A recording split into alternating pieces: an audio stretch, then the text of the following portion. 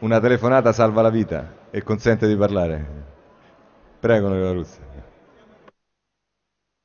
Vedo che la televisione è stata tra i suoi testi fondamentali di formazione politica e culturale e i caroselli ne erano una parte essenziale, ma non c'è niente di male, forse erano i più interessanti tra i tanti programmi.